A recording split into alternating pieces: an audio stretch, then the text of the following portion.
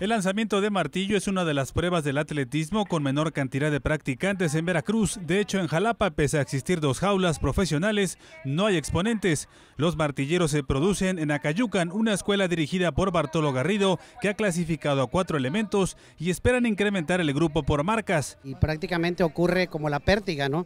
que nada más es en Jalapa con el profe Héctor y nosotros allá en Acayucan el martillo. Este año, te repito, de la categoría sub-16 que es nueva, están clasificados ya a la Olimpiada Nacional, dos en Martillo, una niña y un niño, en la sub-18 igual, esperamos en la sub-20. El grupito total de los niños que trabajan entre los más chicos y los más grandes en Acayucan de Martillo somos aproximadamente como 16. Se ha hecho como una escuela realmente.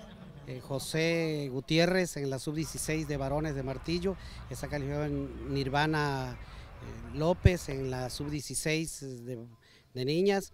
Este, en la sub-18 está clasificado eh, José René Morales. En la de niñas está María Pérez en la sub perdón, la sub 18 y estamos esperando, le digo, la sub 23 que Rosario consideramos nosotros Rosario Moreno con la marca que metió de 45 metros, consideramos que así se va a colocar y ya sería el grupito de la mayoría de los martilleros, aunque en la misma categoría sub-16, sub-18 metimos el 1-2, incluso en la sub-16 de niña el 1-2-3. Esperemos que la marca les dé también y, y llevaríamos como 10, 11 martilleras al nacional. En breve podría oficializarse que la jaula de lanzamientos que se ubica en el área de calentamiento del Estadio Jalapeño será cedida en comodato a la Unidad Deportiva Vicente Obregón de Acayucan. Por venirla a traer no hay ningún problema. Nosotros buscamos la forma y el recurso para venirla a traer.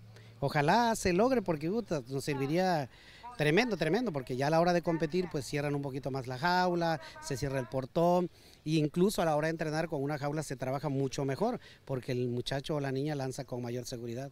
Para más deportes, Cristian Pale.